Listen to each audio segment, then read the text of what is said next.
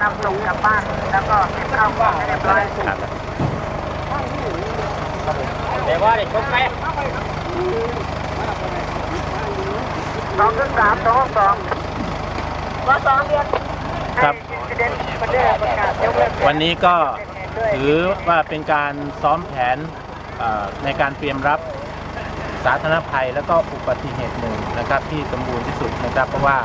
วันนี้ ทางองค์การบริหารส่วนตำบลนนท่าของเรานะครับ ก็ได้รับความร่วมมือร่วมใจจากหลาย ๆ หน่วยนะครับ เจ้าหน้าที่ที่เกี่ยวข้องนะครับ ไม่ว่าจะเป็นโรงพยาบาลหนองสองห้อง เจ้าหน้าที่ของหน่วยกู้ชีพทั้ง 13 แห่งนะครับ แล้วก็นะครับมูลที่สองห้องการกุศลเอ่อมูลที่สองห้องการกุศลเทศบาลตำบลหนองสองห้องนะครับ วันนี้ก็ได้นำ มีเจ้าหน้าที่แล้วก็รถดับเพลิงนะครับมาร่วมในงานนี้ด้วยนะครับ นอกจากนั้นนะครับก็ยังมีเจ้าหน้าที่นะครับผู้บริหาร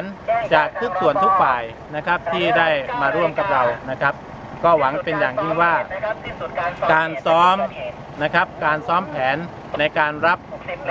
สาธารณภัยในครั้งนี้นะครับ ก็คงจะเป็นประโยชน์นะครับในการที่จะให้ทุกส่วนทุกฝ่ายทุกหน่วยงานนะครับ ได้นำไปประยุกต์ใช้นะครับในการที่จะรับสถานการณ์จริงนะครับที่อาจจะเกิดขึ้นภายในพื้นที่นะครับของทุกหน่วยงานได้ต่อไปนะครับท่านมีอะไรที่จะพูดคุยต่อไหมครับ ครับยังไงในนามผู้ภัยมูลที่ท้องห้องการกุศลนะครับ ก็ขอขอบคุณทางอบตนนทาตนะครับ ที่ให้ ความอนุเคราะห์ไม่ว่าจะเป็นเอ่อการเอ่อลักษณะของผู้บาดเจ็บนะครับนะครับผู้ด้านผู้บาดเจ็บ แล้วก็ด้านยานพาหนะต่างๆ แล้วก็รวมทั้งหน่วยกู้ชีพ ทุกหน่วยกู้ชีพในอำเภอหนองท่องครับผมครับธรรมดาสมบูรณ์แล้วครับสมจริงสมจังไอ้ลูกชายถอนกำลังได้ได้ไหม